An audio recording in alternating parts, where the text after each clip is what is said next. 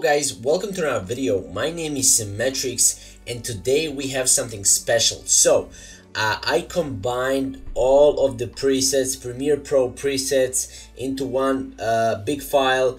Not really big file, just a lot of presets that you can use in your videos. Now, these presets are combined from uh, YouTube and actually from YouTube creators. Now, what you need to do when you download the link is down in the description below.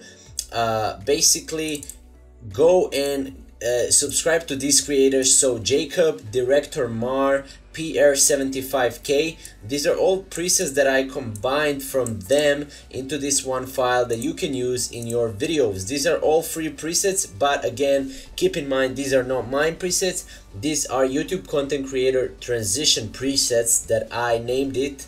And uh, basically it's not mine it's theirs their presets. So basically go there and support them show them some love and you can download them for free down below. Now when you have presets go to your Premiere Pro. I have CC 2017 and go right click here and go import presets and select your presets.